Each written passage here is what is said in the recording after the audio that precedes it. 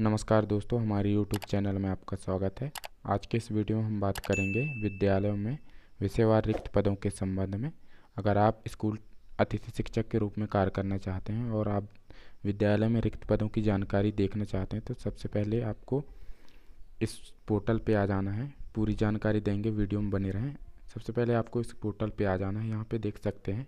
इस प्रकार से विंडो ओपन हो जाएगा। यहाँ पे अपनी जिस ज़िले से हैं, विकासखंड से हैं शाला का प्रकार जो भी है और विषय के लिए जिस विषय की जानकारी देखना चाहते हैं, पूरा डिटेल फिल करके या फिर डाइस कोड के द्वारा आप डायरेक्ट सर्च करेंगे तो आपके सामने रिक्त पदों की जानकारी की पूरा एक लिस्ट निकल कर सामने आ जाएगी। यहाँ पे आप देख सकते हैं, अगर उस सब्जेक्ट का विद्यालय में रिक्त पद हैं तो आपके सामने वैकेंसी, अवेलेबल वैकेंसी निकल गया जैसे कि मैं यहाँ पे मैथ्स का सर्च किया हूँ अभी तो मेरे सामने एक मैथ्स की एक वैकेंसी, अवेलेबल वैकेंसी है।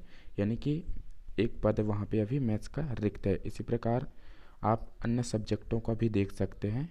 तो इस वेबसाइट का लिंक मैंने डिस्क्रिप्सन में दिया हुआ है, वहाँ से आप जाके देख सकते हैं।